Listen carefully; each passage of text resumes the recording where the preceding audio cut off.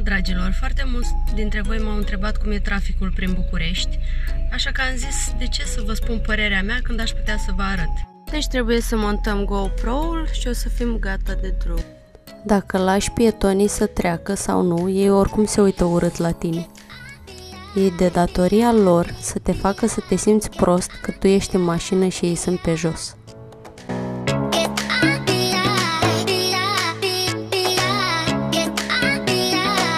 Nimeni nu știe pe ce bandă e și unde duce banda respectivă.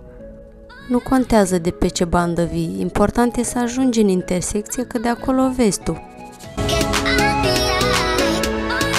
Nu contează ce mașină ai, ești cu adevărat șmecher în București atunci când tu ai la bloc un loc de parcare plătit.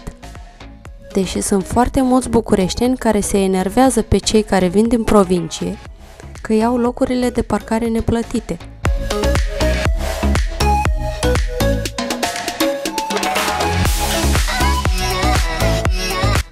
Se aplică foarte des regula Cine are mașina mai tare, ăla intră primul în intersecție.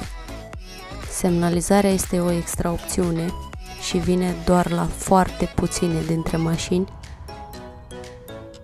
Probabil că oamenii sunt timizi și nu vor să spună că se duc în dreapta sau în stânga,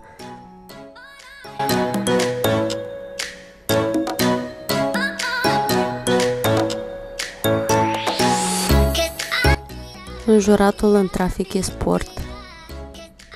Cu cât înjuri mai tare și mai mult, cu atât e mai bine. Multora dintre șoferi nu le pasă că în orice moment pot fi depășiți de un motociclist.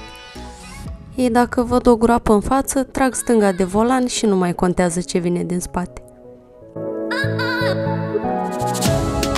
Dacă cineva așteaptă jumătate de oră să se bage într-o intersecție și în sfârșit reușește, Cinci alți șoferi trebuie să-l claxoneze și să-l înjure cu toată puterea lor.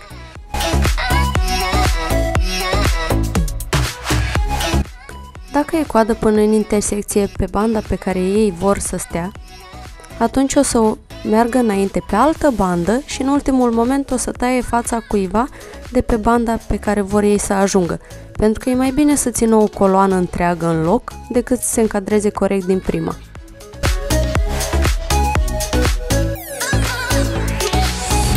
Trebuie să fim atenți și la femeile care merg cu cărucioarele de copii pe carosabil, pentru că dacă și cărucioarele au roți, înseamnă că sunt vehicule, nu?